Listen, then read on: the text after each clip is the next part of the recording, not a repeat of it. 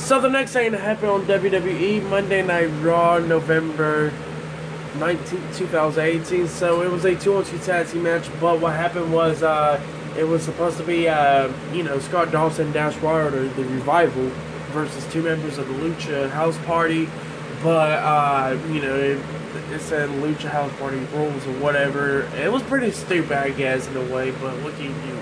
Uh, so yeah, all three members of the Lucha House Party competed. It was Kalisto, Lince Dorado, and Gran Metalik. Uh, Lucha House Party versus the Revival in a 3-on-2 handicap match, pretty much. Pretty decent match, I guess. Uh, they expect nothing less but the Revival to lose, pretty much. Uh, you see uh, Dash Wilder get hit with the uh, shooting star press from uh, Lince Dorado.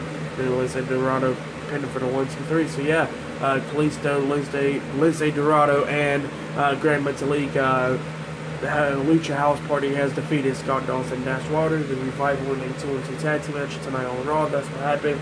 Pretty decent match. I'll give that match a uh, 2.5 out of 5 stars. That's what I'll give it. But yeah, uh, that's what happened there. And then we uh, see the, you know, the segment with Seth Rollins still. Second, uh, Seth Rollins goes up and uh, Charly Caruso start interviewing him about Dean Ambrose and stuff. Seth Rollins like, look, I'm trying to find Dean Ambrose, you know.